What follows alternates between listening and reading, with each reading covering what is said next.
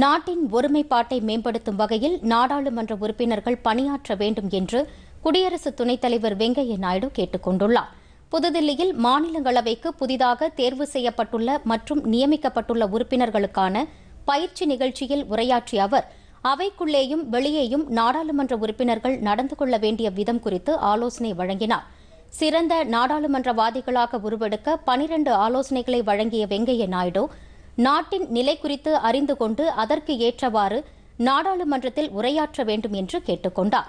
எதிர்க்கட்சி உறுப்பினர்களுக்கு அரசை குறை கூற உரிமை உள்ளது என்றும் அது அவர்களது கடமை என்றும் கூறிய குடியரசு துணைத் தலைவர் விமர்சனத்தில் நம்பகத்தன்மை இருக்க வேண்டும் என்று வலியுறுத்தினார்.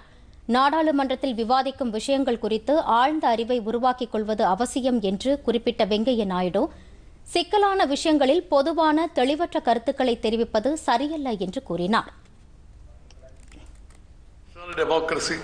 There is no parallel to our democracy anywhere in the world because we are not only selected by parties but also elected by the people.